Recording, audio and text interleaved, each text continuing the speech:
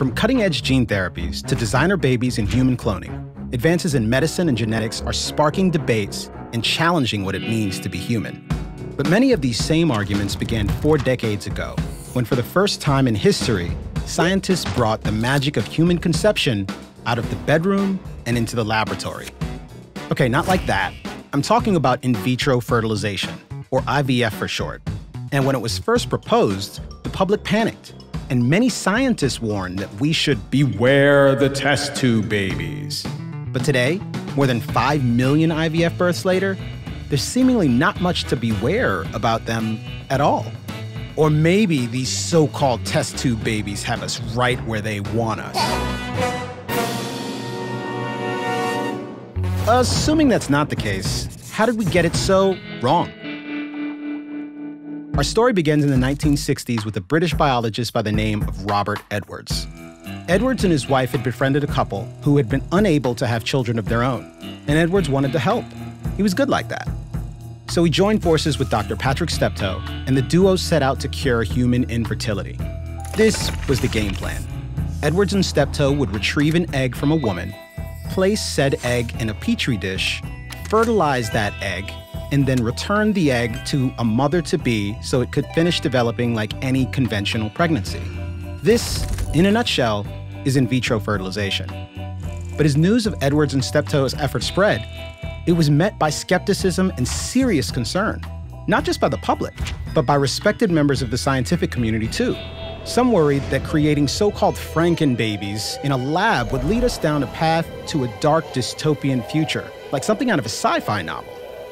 In fact, James Watson, the famed co discoverer of DNA, predicted that all hell would break loose, politically and morally, all over the world if IVF were successful.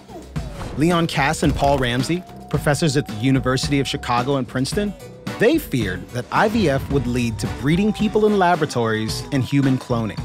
The British Medical Association took things even further by directly accusing Edwards and Steptoe of actually cloning humans. Edwards would eventually sue them twice for defamation and win. So everyone was coming after these guys, but they kept going. And after eight years of experimentation and fighting off critics, Edwards and Steptoe made a huge announcement. They'd succeeded. A young woman named Lesley Brown had been impregnated via IVF, and the first baby ever conceived outside of the womb was on its way. A media frenzy erupted. Reporters from around the world swarmed the hospital where Lesley was preparing to give birth. A few even managed to sneak in disguised as janitors and priests. What would this baby look like? Would it be tragically malformed? Was it a monster? Nah, it's just a baby. On July 25, 1978, Edwards and Steptoe delivered Louise Joy Brown. And by all objective measures, she was super cute and totally normal. Louise's birth paved the way for 5 million healthy IVF babies and counting. In these days, the procedure is so routine, it's even been performed live on The Today Show. For his efforts, Robert Edwards would win the Nobel Prize in 2010. And when he did, the Nobel Committee was flooded with personal messages from grateful families. And it's no wonder. These families might have been forever incomplete if Edwards and Steptoe had given up on IVF in the face of criticism.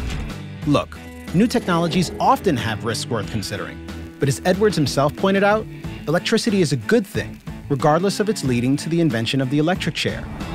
Debates about the next great medical breakthroughs will have to be settled on their own merits. But when it comes to IVF, the millions of families it made whole, and the dire predictions that never panned out, even some of the brightest minds appear to have gotten it wrong. Or did they?